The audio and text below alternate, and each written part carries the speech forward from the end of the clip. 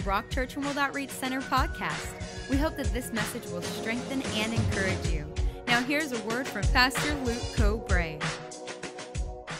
Are you guys ready to get into the word of the Lord? Praise God. Well, here's what I'm going to do. I'm going to go ahead and I'm going to get down on my knees and go before the Lord in prayer. If you're able to stand, would you join me as we reverence the Lord? And let's stand before the Lord as we go in prayer. Father God, we come before you in this place, Lord, and we're just grateful that we have the opportunity to come into the house of the Lord. Your word says, I was glad when they said, Let us go into the house of the Lord. Father, why is that? Because that's where your presence is. Lord, we don't come into this place to hear from a man or to hear from a woman, to hear from a band, or Father, we don't come into this place to be entertained. Lord, we come into this place to hear from you. And we fully acknowledge that Jesus Christ is the senior leader of this church. And so, Father, we ask that the Holy Spirit would open our eyes to see and our ears to hear the word that you would have us to hear tonight, Father, that it would be seed sown on good ground, Lord, as we leave this place, that we would be impacted and prepared to do the work that you have called us to do in your kingdom.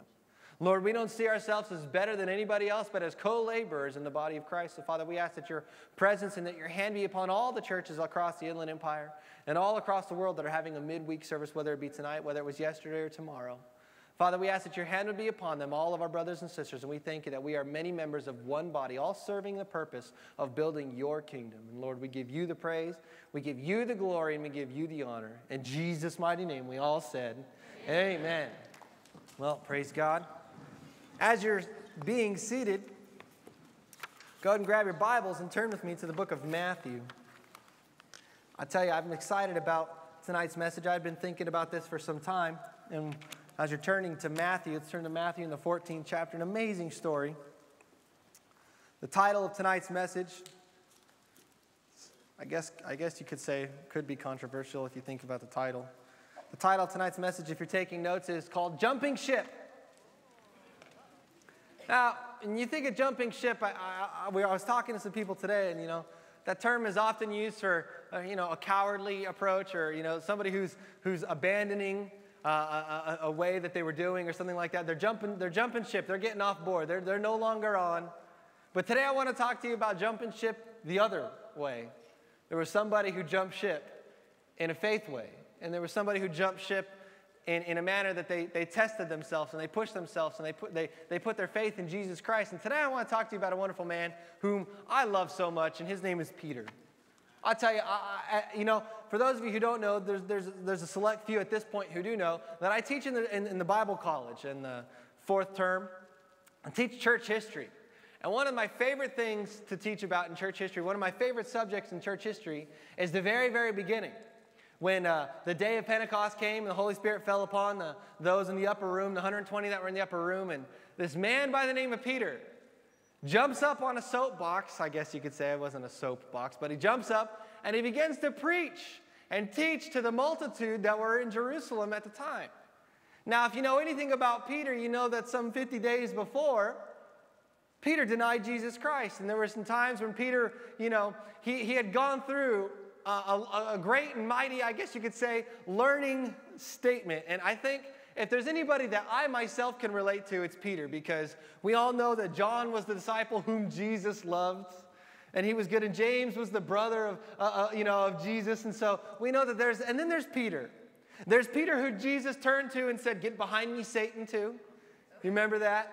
There was Peter, whom, whom, who we'll read about today, who jumped ship and was the only other man in the existence of, of mankind that ever walked on water other than Jesus Christ. There was Peter, who Jesus questioned three times Do you love me more than these? Speaking of fish. I mean, Jesus Christ and Peter had a great relationship. And I tell you, for me, I love Peter because it's amazing to see the learning process of a man, a man who was a fisherman.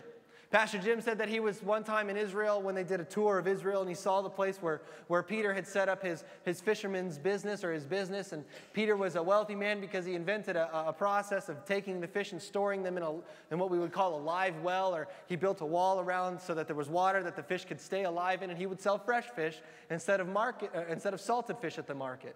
So Peter was, a, was an ingenious man. Peter was a zealous man. You know, you remember the story of when Jesus Christ was taken uh, at the garden into custody. Who was it that chopped off the guard's ear? It was Peter. Who was it that Jesus, as he was putting that guard's ear back on him, looked over to Peter and said, If you live by the sword, you die by the sword. I tell you what, Peter is somebody that when I think about, he brings a smile to my face. Because we look at Paul the Apostle, and yes, that Paul the Apostle lived the life of a terrorist. He lived the life of a person that, that persecuted the church, and he was, he was, a, was a bad person before his conversion.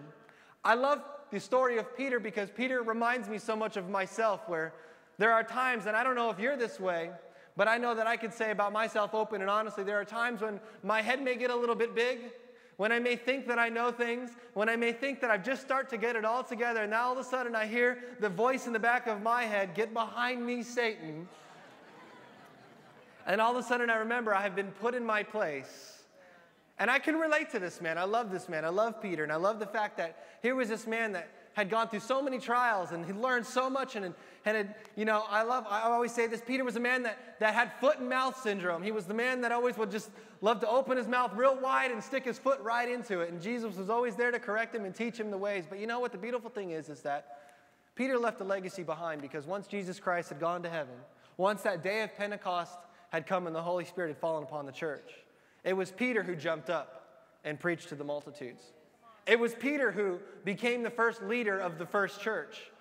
It was Peter who founded churches all across the, the world as they knew it at the time. And here was this man that had made so many mistakes when he was with Jesus, but left a legacy behind because now Jesus' lessons in his life, because he had been and walked with Jesus, he had learned. And today I want to talk to you about one of the many stories of this great man's life jumping ship and how Peter we all know the story.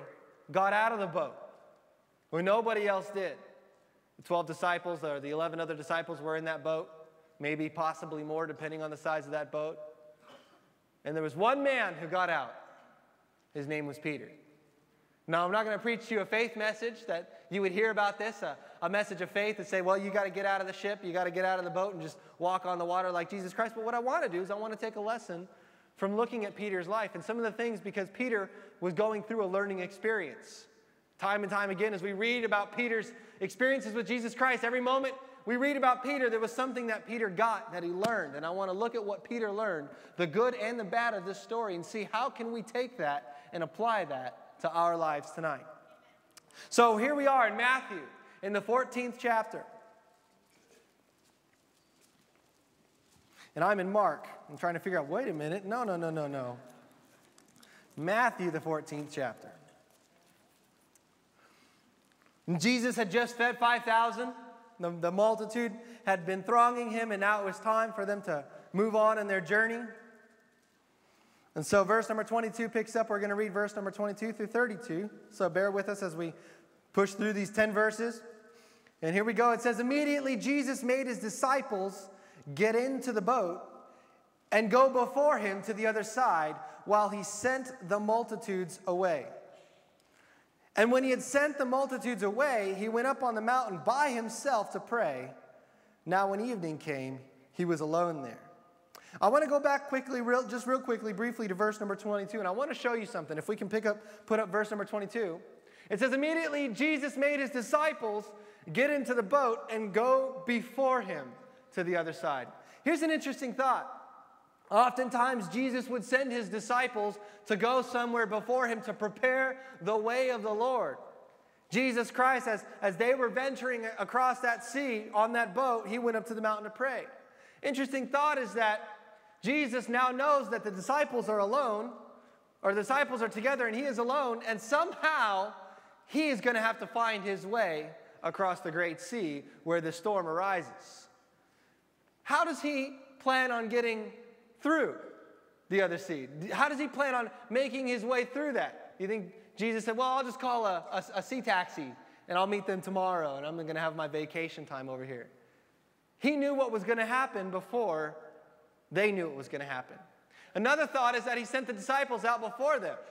He knew that there would be a storm that would arise. Jesus was no fool, he's God. God knows all things. We talked about that. We can't hide from the sight of God, He sees all things. So, isn't it interesting that you think about us? What does that apply to you and I? That just that very verse right there. Well, how about you and I being sent before the return of the Lord as his disciples to go and prepare the way, like he sent his disciples across the sea? knowing that there would be storms in life for you and I to encounter. But there would be an example and somebody to hold on to. Interesting thought. That's not what we're preaching about today, but I just wanted to let you maybe, you know, as you go home tonight, kind of stew on that, think about, hey, you know, Jesus knew about what's going on. So now we see verse number 23 and he had sent the multitudes away. He went up on the mountain by himself to pray. And now evening came, he was alone there. But the boat was now in the middle of the sea, tossed by the waves, for the wind was contrary. Now, in the fourth watch of the night, late at night, Jesus went to them walking on the sea. Could you imagine? Jesus has finished praying, and he says, Well, it's time to take a walk. He walks out onto the shore of that sea, and he begins to step on the water, and he begins to walk on the water. Now, remember, it says that the wind was contrary, so already there's a storm brewing. Already the sea is rough. Already the swells are moving around, and the boat is being tossed. And here comes Jesus. I'm going to walk out to them. Don't you think, uh, let's just, let me just give you, bear with me for a minute. Imagine this. I mean, I, this puts a smile on my face because you know Jesus was a playful teacher. You know Jesus loved to teach them through examples and through, through you know, parables. So he could have picked any way to arrive on the other side of shore. You know, he could have maybe walked around or walked across where they wouldn't have seen him and they would have gone to the other side after the storm and been like, oh man, we survived that storm. And then they get, they pull up to the shore and here's Jesus standing on the dock. Hey, how's? What? Whoa! But Jesus says, I'm going to go ahead and I'm going to walk on the sea during a storm right past them so they can see who I am. You know, in his mind, he's ready to teach them something. He wants to show them something. How fun is that? So now, in the fourth watch of the night, Jesus went to them walking on the sea. And when the disciples saw him walking on the sea, they were troubled, saying, It's a ghost! And they cried out for fear. But immediately Jesus spoke to them, verse number 20, saying, Be of good cheer, for it is I. Do not be afraid. And verse number 28 comes along, and Peter answered to him, and said, Lord, if it is you, command me to come to you on the water. And he said, Come. And when Peter had come down to the boat, he walked out on the water to go to Jesus. But when he saw that the wind was boisterous, he was afraid. And beginning to sink, he cried out, saying, Lord, save me. Verse number 31 And immediately Jesus stretched out his hand and caught him and said to him, O you of little faith, why did you doubt? In verse number 32. And when they got into the boat, the wind ceased. Here's an amazing story of a man, Peter, that is afraid for a moment because he believes he saw a ghost. And he hears Jesus say, No, don't be afraid, it's me. And Peter says to Jesus, Hey, if it's you, let me come out on the water. You know, sometimes we don't give Peter the credit that he's due in this situation. We see, and we'll talk about that in a moment, that he focused on the surroundings and those around him and he began to sink. But the Bible does say that Peter had come down on the boat and he had walked on the water to go to Jesus. Peter, the only other man in the history of mankind who has ever lived that walked on water. Jesus Christ being born of the Holy Spirit and of man, half God, half man. But I guess you could say that Peter was the only full blooded man that walked on the water. And then, interesting enough, is that as Peter's falling and he cries out to God, Jesus answers to him and says, Oh, you of little faith. Let me ask you this question Do you think that this was an intimate moment between Peter and Jesus? Because why would Jesus say to Peter, Oh, you of little faith, versus the 11 others who were sitting on the rail of the boat wide eyed. The man of some faith, little faith, stepped out of the boat. He got out on the water. Now, he may have lost track of what he was doing, but he jumped ship. And I love how you and I can take a lesson from Peter. So today in my studies, the Lord was speaking to me about some things to take from Peter. And I've got three things for you today based out of this story of what we can do to learn from from our friend Peter, from the, from, from the great Peter in this story. So I've got three things for you today. Are you with me? Can we, can we go through three things looking at Peter's life and what he learned from this, what he took from this, and then how can you and I learn and take from this as well?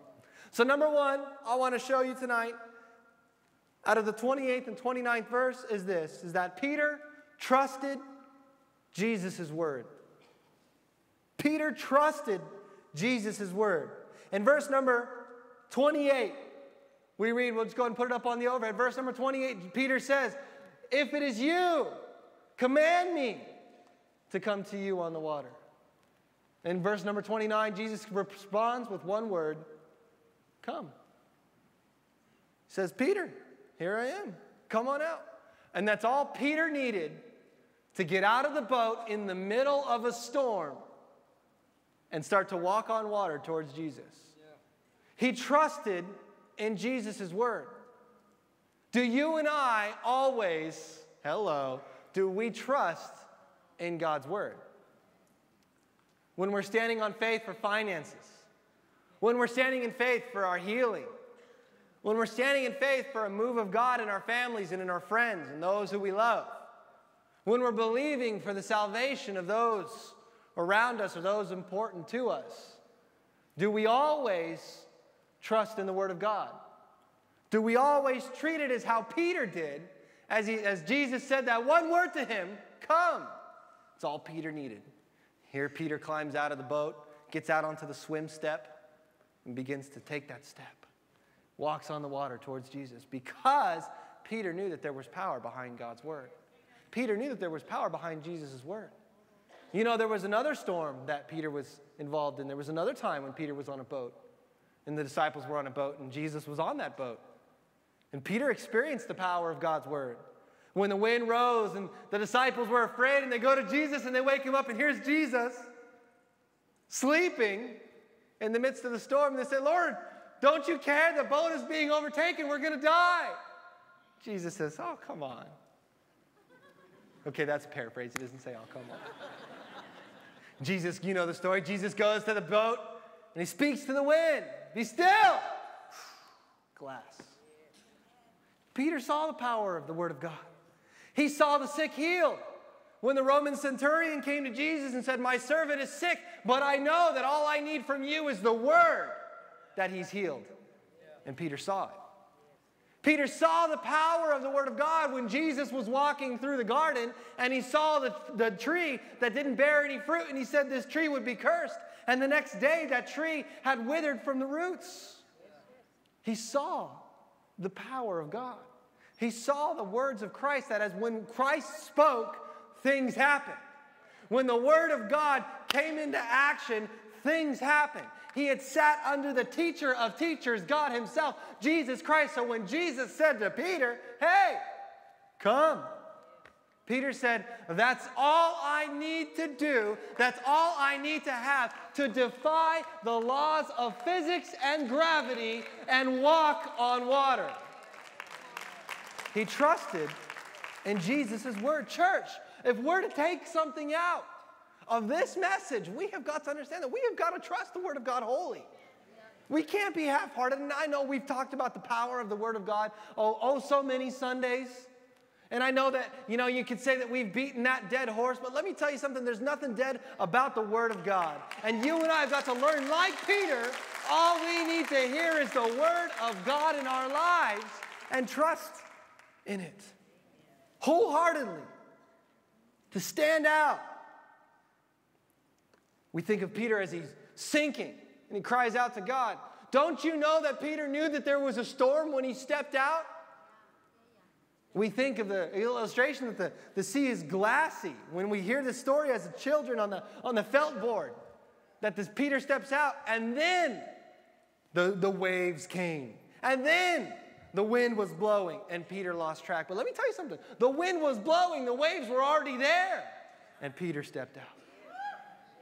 So don't you know that it's a step of faith? It's one thing to step on water when it's nice and glassy and calm, because at least you know, all right, well, I'll sink gently. But Peter was in the white water. Let me show you what the Word of God says. In Jeremiah, the 23rd chapter, I'll just go and put it up on the overhead. In Jeremiah, the 23rd chapter, the 29th verse, this is God speaking to those who were speaking against His Word and about the prophets.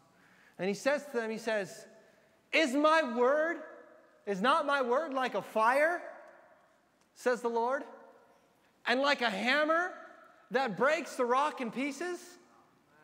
The Word of God is alive and powerful. We've read that out of Hebrews. We've studied that on Sunday morning. But let me tell you something the Word of God is like a fire, the Word that consumes all, that refines those things and shows whether we're made of, of, of things that would be refined in fire or burned up in fire. But the Word of God is like a hammer that breaks rock.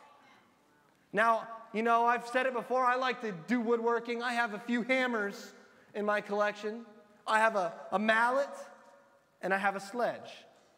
Now, if I want to go out and break a rock to install a sprinkler system or do some landscaping in my backyard, I can grab my mallet that's made of rubber, that's used to coax things into position without marring or damaging them.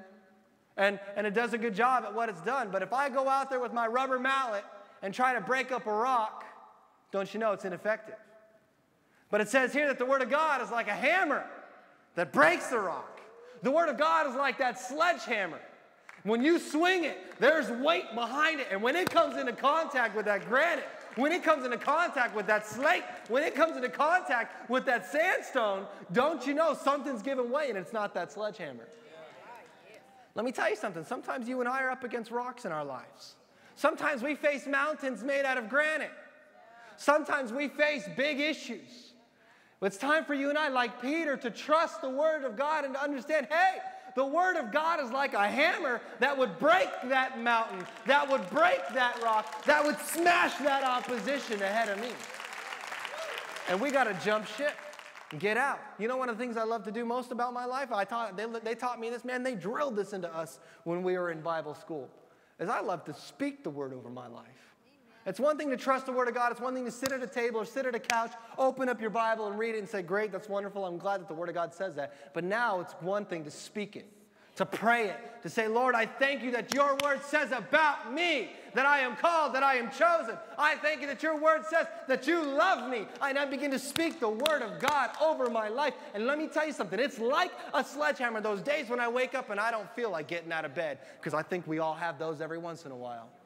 Those days when I wake up and I feel like I can make it at work today. Those days when I wake up and I'm trying to figure out where the money in the bank account went to. Let me tell you something. When I speak the word of God, it's like a hammer that breaks that opposition.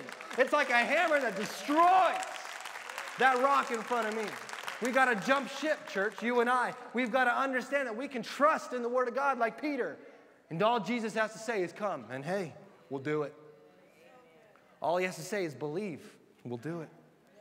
All he has to say is pray and we'll do it. All he has to say is open your mouth and we'll do it. You guys with me? Hello. We're talking about some things that Peter learned. I don't know about you, but I'm fired up about Peter. I love Peter. But you know, in this story, it's not always good. There is some bad to Peter's experience here, and we'll take a look at this on this one. Number two, tonight we're talking about some things we can learn about Peter. Number two is Peter lost his focus on Jesus. In the 30th verse of the 14th chapter, it says that, but when he had saw that the wind was boisterous, he was afraid. And beginning to sink, he cried out, saying, Lord, save me. Here, Peter is walking on the water, and he lost his focus on Jesus. Sometimes in our lives, don't you know, we can lose our focus on Jesus. I love Keith Hershey's message on Sunday morning. If you didn't get it, you need to get a hold of that. You need to get on the podcast or the, the, the web, get a CD of it, whatever you need to do to get it. I tell you what, if you didn't hear it, it will change your perspective on life. And we have got to keep our focus upon Jesus. And here's Peter walking on the water, and all of a sudden he's distracted by the circumstances around him.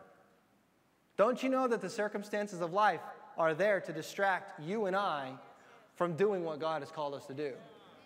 Jesus said to Peter, Come. So therefore, we see that it was the will of God that, that Peter walk on water. Because otherwise, Jesus would have said, Peter, hold on. Let me tell you something. You know, let me come over to the boat. And here's Jesus sitting on top of the boat as the boat's rocking, and he's leaning his head over, and he says, Listen, Peter, I appreciate your effort for wanting to come out on the water, but I just want you to know that I'm God and that you're man. So, you know, let me climb into the boat and we'll, we'll, we'll resolve this storm issue. No, no, no, no. Jesus was out there on the water, and Jesus said, Come on, Peter. You want to get on the water? You want to get your feet wet? Come on, Peter. So it was the will of God for Peter to be out there. Jesus told him, Come on. He sent him an invite.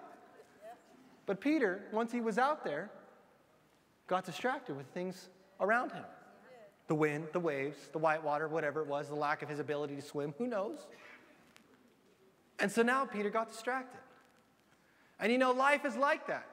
Here we are in the will of God, and all of a sudden, distraction comes our way. You know, get sidelined or or get, you know, sucker punched by life, whatever. And all of a sudden our focus goes from God, what was that? And we look over here and try to figure out what that was. And we look over here and try to figure out what that was. And all of a sudden we start to sink. We lose sight of God. We lose sight of Jesus who's walking, who's in that storm, who's in the water. You know, I remember there was one time when I was, when I was, uh, I just graduated from Bible college and some of my old buddies said, hey, let's go, let's go have a surfing trip. And so we started at Huntington Beach and we worked all our way, all the way down to San Diego over two days.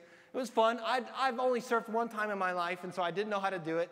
Um, and I went and borrowed a friend's board, and I went with my friends. You know, we're standing there on the beach on the sand, and we're looking at the waves. And I've never really done this. I've done it once before. I fell most of the time, didn't, you know. And we're looking at the waves and say, ah, they're no big deal. That's fun. Let's go out there and have a good time. But then as we begin to paddle out there, and now I'm not standing on my feet looking at waves 300 feet away, now I'm laying on my stomach looking at waves breaking over my head, they seem a lot bigger. The reality of the matter is, is that sometimes we look at our opposition, we look at what things people are going through, and we say, What's the big deal? Why are you getting distracted by that? Come on. But when we go through life, don't you know that it's just like Peter? Like me when I was surfing, laying on my stomach. That wave's a heck of a lot bigger than it was when it was on the shore, even though it may have been the same size. Even though it may have only been a four foot wave, it was terrifying to me who had never done something like that to know that there might be consequence for me to try to ride this thing and land on my head. And Peter was the same way. And in the ship, there was a storm. And Peter knew that when he got out of the water, he was walking into a storm. But let me tell you something when you step out on the water, that storm gets a lot bigger. Because don't you know the enemy wants to get you down? Don't you know that the world wants to break you of your spirit, take everything that you have, and tell you that your God doesn't exist? So don't you know that the things are going to fight against you even more so? So Peter lost his focus on Jesus. What does that take for you and I? What do we take away from that? We take away this that there will be things in life that will try to draw our focus away from God, but we have got to understand that we have got to keep our eyes fixed upon Jesus Christ. In Matthew, the seventh chapter, verse number 13, verse number 14, Jesus says, a few pages down, says, Enter by the narrow gate. For wide is the gate, and broad is the way that leads to destruction, and there are many who go by it. Because narrow is the gate, and difficult is the way which leads to life, and there are few who find it. Are you and I going to be the kind that travel the broad, open road, who many find? Or are we going to be like Peter, the few who say, God, if that's your will, tell me and I'll get out of the ship and I'll walk on the water in the midst of the storm to come to you? Because Jesus Christ said, hey, the road is narrow. The gate is small. You know, in our walks with God and our focus upon Jesus, I feel like we have an idea of what the road might be, the narrow road. And I'm going to put a picture on the screen. This is a road to Monument Valley. Go ahead and put it up, guys. We think that the road that is narrow and the gate is small is something like this a open country road where we see, okay, I can see for miles that the road is straight the road is easy, that the road, yes, it is narrow. It's only a two lane road. Sometimes we think that our journey following Jesus Christ and walking in the ways that Jesus Christ taught us, sometimes we feel like that road looks like that. Yeah, there's some distraction, there's some scenery along the way. But for the most part, it's a wide open road where we can see for miles the things that come against us or come at us. But really, I think the road is more like this. Let's put that second picture up. This is a Chinese marketplace. There's a lot of people venturing on that road. And you know the designation of that road, the whole design of this road is to entice your attention from, attention from left to right. And you're journeying from one side of the street to the next side of the street, and you're trying to go from point A to point B, but don't you know that people are thronging you? People are walking that road the opposite direction that you are. They're bumping into you. There are people calling out to you saying, hey, come here, come here, come here. Look at this, look at this. Hey, hey, hey, come here, come here. Just take one sip. Hey, come on, come on, come on. Come back to what we used to. Man, come on, let's have it like the old days. Hey, hey, hey, come on, come on, look at this. And they try to get our attention.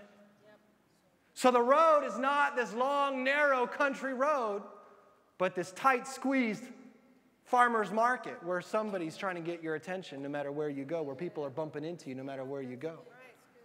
Jesus said that the road is narrow and difficult. The gate is, is, is, is, difficult. This road is not something easy, and if we lose track, if I'm following this guy in his white jacket and his pink suitcase, we say that that man is Jesus. If I lose track of him in that market, he's gone. And I'm going to get lost. And I'm going to be distracted. And I'm going to say, well, here I am. I'll buy a cheap suit.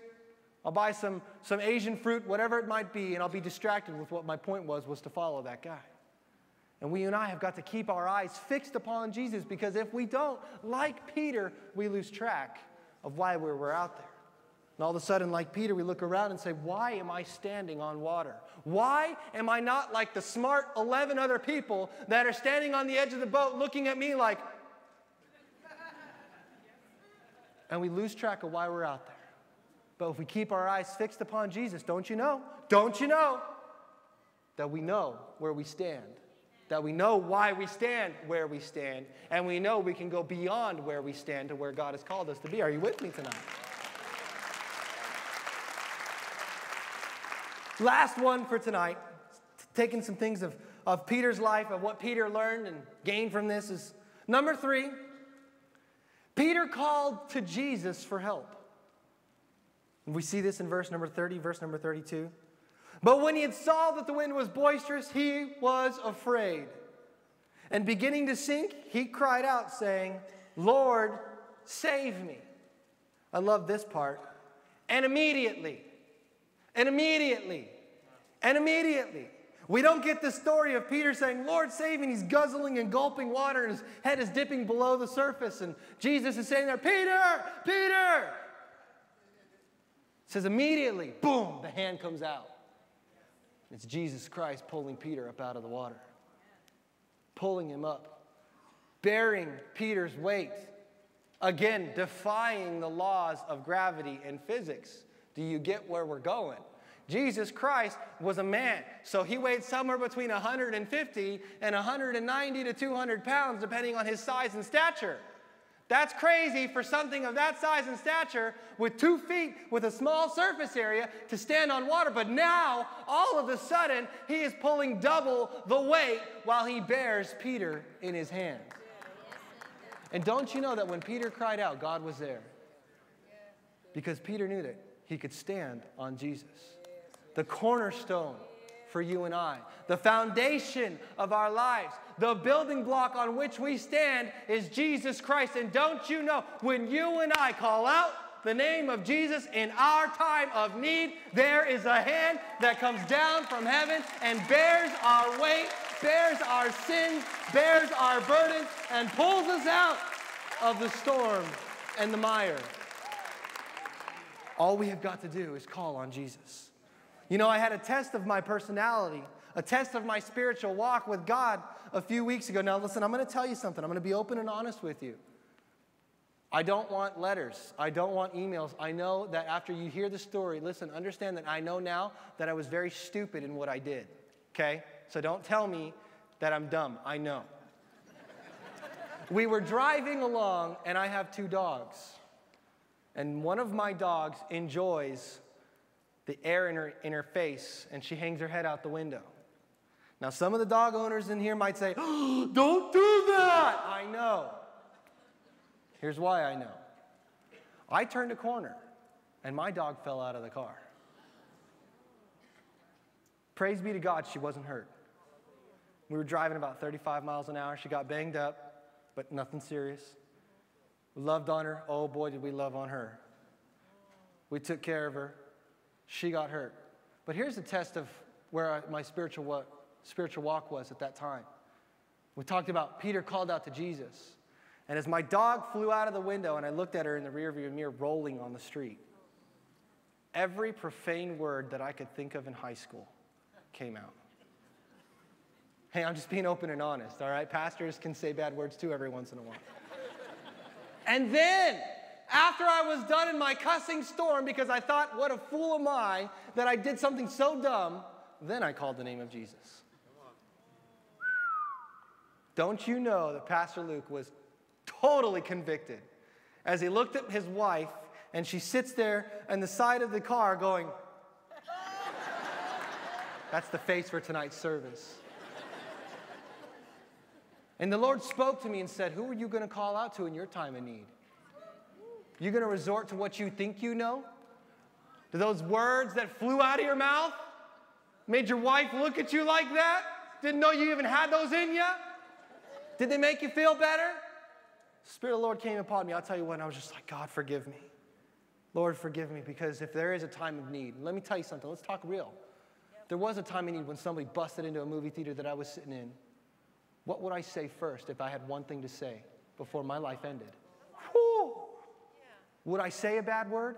Would I say, oh, you know, and then an explicative, or would I say, Jesus, save me? What would I do? That's the real test of our spiritual walks, is in those time of needs. When Peter was sinking in the water, he could have said, Throw me a life vest. But he said, Jesus, help me. And we may sink, guys. Our life may go down in flames, it seems, and we have a decision whether or not we're going to call upon our family and our friends to rely on. We're going to call upon the situation around us and say, oh man, I hope there's a sandbar in this pond that I'm in. And we can say, Jesus, help me. And immediately the hand comes out pulls us out of the water. And Peter, Peter had to go through a time of trusting in God. In order to fulfill and be who God called him to be, Peter had to make mistakes. And Peter had to sink to know that God was there. But why? Because in Acts, the 12th chapter, if you've got your Bibles, turn with me to there. Why did Peter have to sink? To call out to Jesus. Because in Acts, the 12th chapter, verse number 5, background verses number 1 through 4. King Herod had set out his hand to harass some of the church, and he had killed James, the brother of John.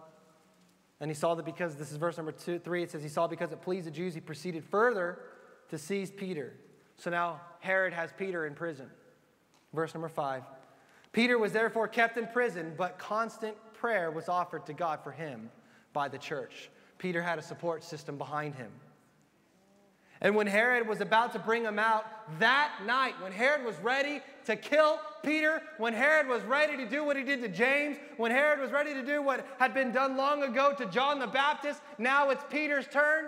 That night, Peter was sleeping bound with two chains between the two soldiers.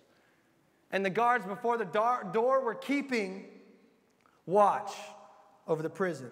Verse number seven Now behold, an angel of the Lord stood by him and a light shone in the prison. And he struck Peter on the side, saying, Arise quickly.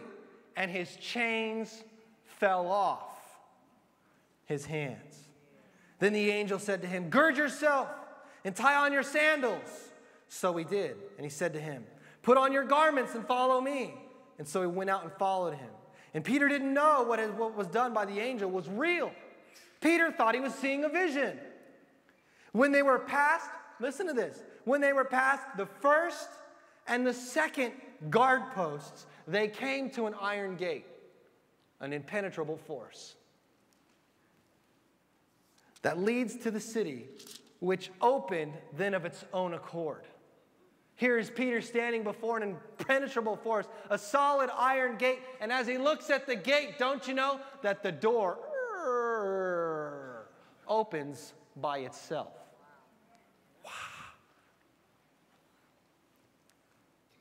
opened of its own accord. And when they went out, they went down one street, and immediately the angel departed from him. And Peter realized now all of a sudden, he's no longer asleep in a prison. This was not a vision.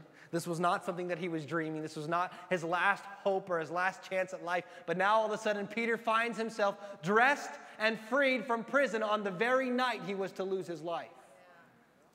But if Peter wouldn't have learned to call out to Jesus Christ, to put his faith in the hand that came down and reached and grabbed him, to say, hey, when you're drowning, I got you. Where would Peter have been? But then Peter, because he had trusted in God, rose to who God had called him to be, the leader of the first church, to be the great and mighty author of the Word of God, to be the great and mighty leader of all the different churches in all the different areas, to go and travel and speak and to teach and to continue to learn. Why? Because he learned to call upon the name of Jesus. And when he did, point number one, he went back into and he learned to trust the Word of God that says, I've got you.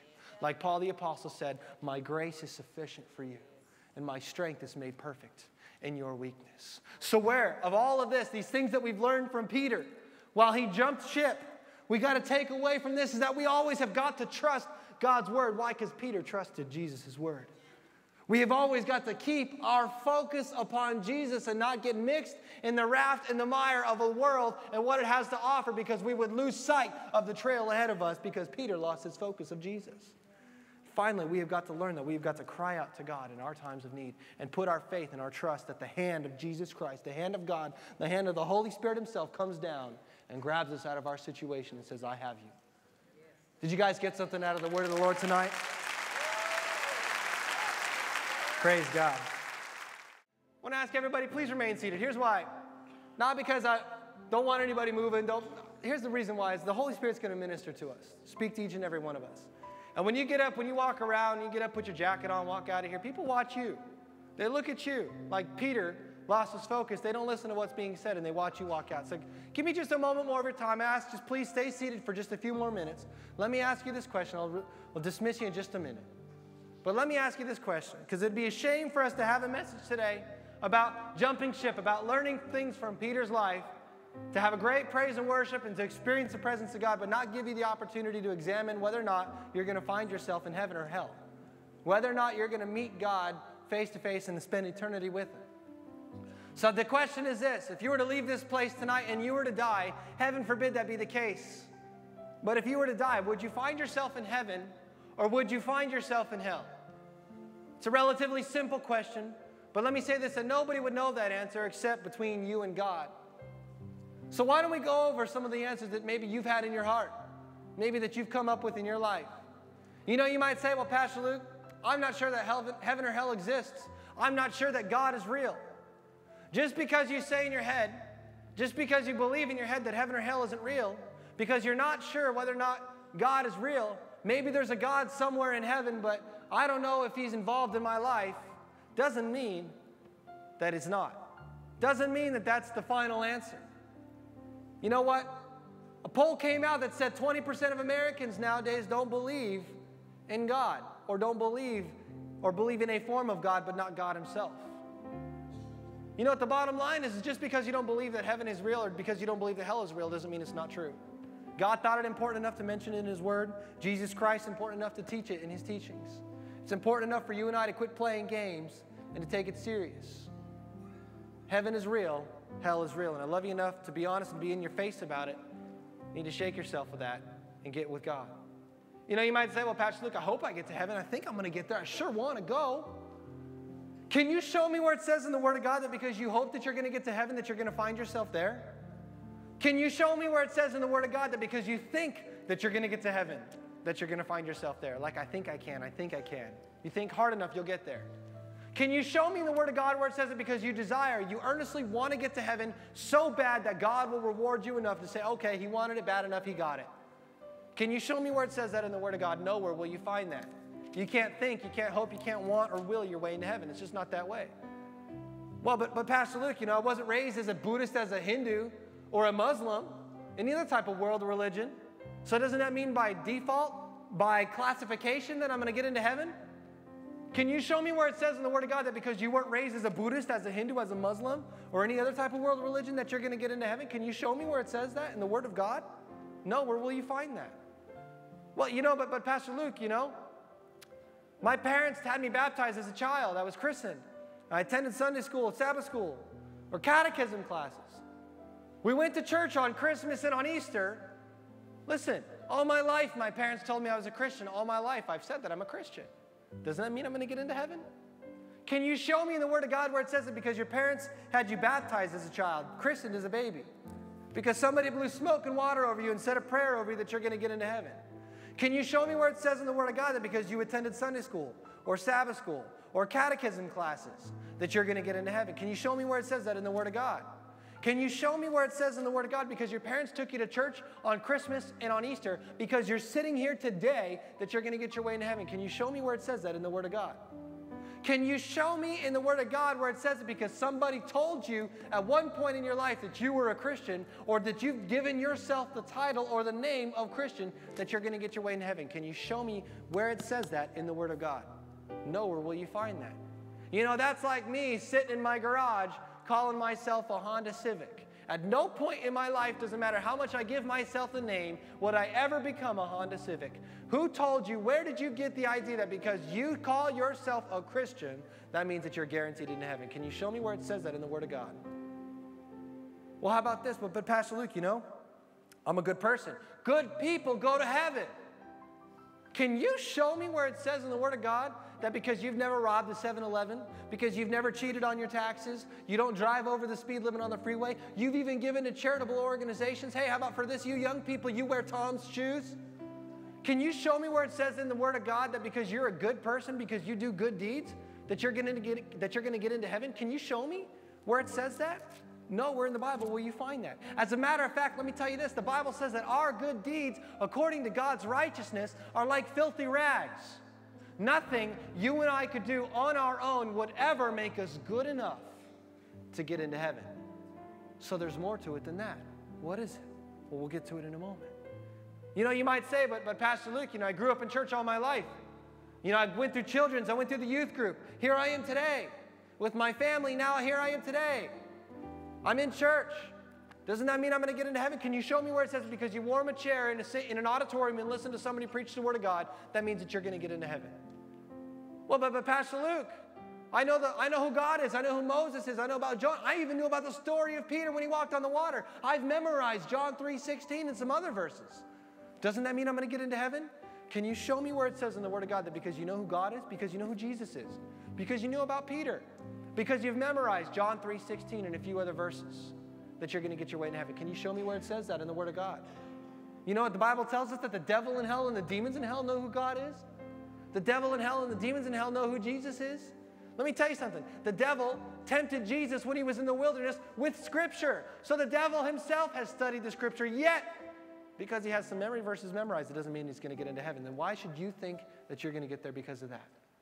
Where do you get that from? Well, but, but Pastor Luke, I was a leader. I, I, I know the Bible. I've, I've studied the Bible. I, I, when I was in youth, in a youth group or children's church, I volunteered at my last church. You know, I grew up in church. My parents took me there all my life. I, I know about the Bible. I sang in the choir, I was an usher. Does that mean I'm going to get into heaven? Where in the Word of God do you see that because you carried the pastor's Bible? Because you sang in the choir? Because you volunteered or to watch babies or you helped in the youth ministry at your last church? Where can you find in the Word of God that that means you're going to get into heaven? Nowhere. As a matter of fact, let me tell you a story.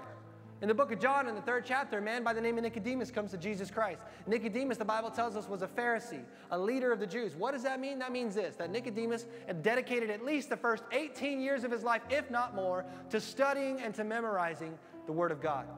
In today's, today's term, Nicodemus would be equivalent to a PhD, according to the Word of God.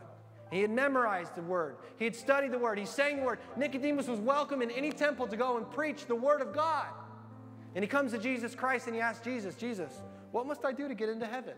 You would think that because Nicodemus had dedicated his life to studying the scripture, because he gave to the poor, because he wore all the right clothes, because he did all the right things, because he taught in the temple, because he was of the right, uh, the right group and the right social status, that Jesus would pat him on the back and say, Man, Nicodemus, you just keep on going.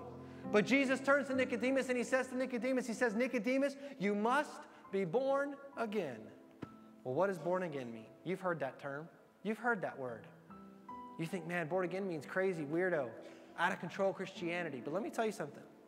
Born again from the beginning of the Bible to the end of the Bible has always meant the same thing. It means that you've given God all of your heart and you've given God all of your life. Let me tell you something. God is not after your mental assent towards Him. God's not after, church, your carnal knowledge of who He is. He's after all of your heart, He's after all of your life. Jesus Christ in the book of Revelation, speaking to the church, people like you and I, says to them, When I come back, I better find you hot, I better find you cold, because if I find you lukewarm, I will vomit you from my mouth. Whoa! That's a shocking statement. It's designed to get our attention. What Jesus Christ is saying was when it comes time for you to meet him face to face, he better find you hot or he better find you cold, because if he finds you lukewarm, He's going to spit you out, reject you out, cast you out of the kingdom of God as worthless, is what that translation means. Well, what does lukewarm mean? Let me tell you what lukewarm means in relationship to your, in regards to your relationship with God. Lukewarm means this. It means that you're a little bit up, you're a little bit down, you're a little bit in, you're a little bit out. You're floating around in your relationship with God. Occasional church attendance, token prayer here and again, maybe even wear a cross or St. Christopher around your neck. It means that you've been doing your own thing instead of God's thing. It means this it means that you've got too much of the world in you to enjoy God, and you've got enough of God in you to not be able to enjoy the world. You've been riding the fence. Jesus Christ says, if you're lukewarm, you will be rejected from the kingdom of God and deceived in thinking you're going to get there. Wow. Shocking statement. Well, then, Pastor Luke, then how, how do we get to heaven? I'm glad you asked. You know, you might say, I appreciate the effort that you're going through. You find God your way, I'll find God my way. We'll all get there the same. Let me tell you something. Let's not do it your way. Let's not try to get to heaven my way because we'll fail. We get to heaven God's way, and here's how we do it. Jesus Christ said that He is the way, the truth, and the life, and no man, hey, listen, no man goes to the Father except through Him. So let's not do it your way. Let's not try to get there my way. Let's do it God. Let's do it God's way. Jesus Christ said that if you confess me before men, I'll confess you before my Father. If you deny me before men, I'll deny you before my Father. So here's what I'm going to do.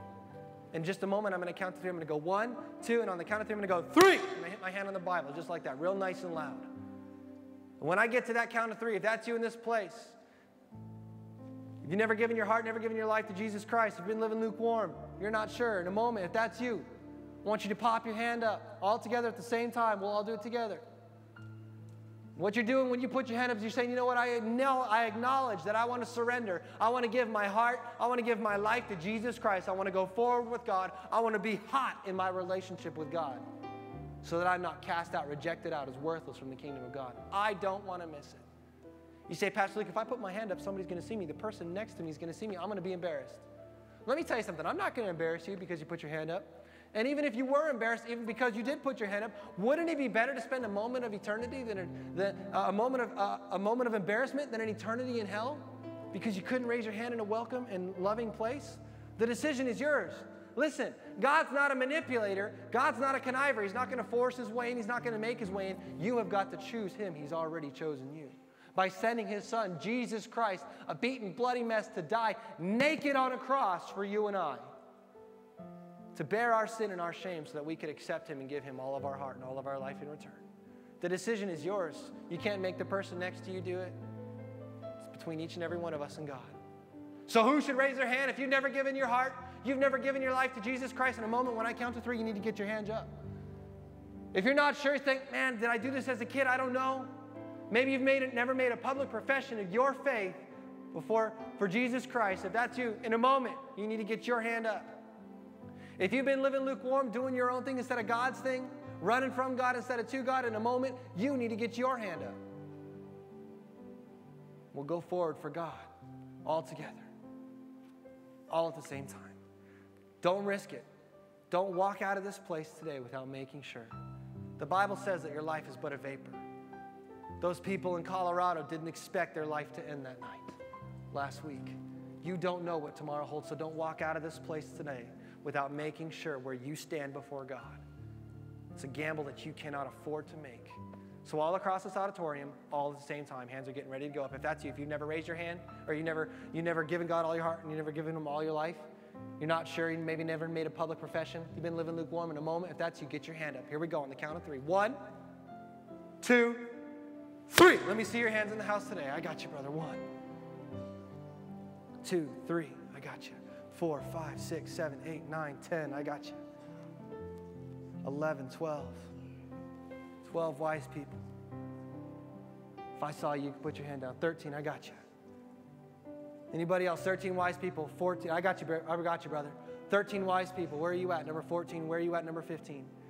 Give me a little wave so I can see you. I see. Okay, I got you. 14, 15. 15 wise people in the house. Where are you? I say, man, I wonder if I should do this. You need to do this. Get your hand up so I can see it. Put it right back down. If that's you in the house today, where are you at? Anybody else in the house today? Well, praise God for 15 wise people. Hallelujah.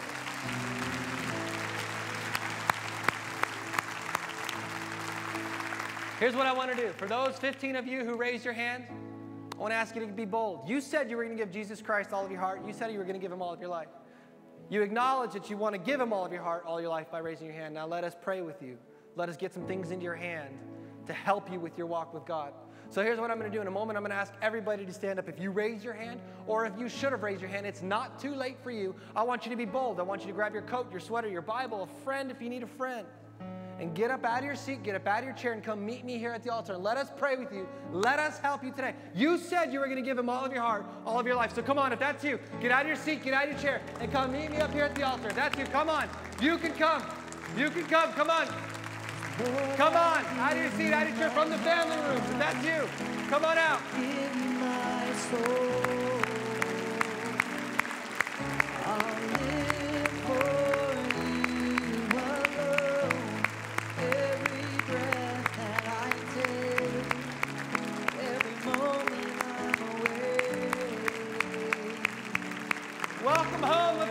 Welcome in this place. Hallelujah. You can come. It's not too late.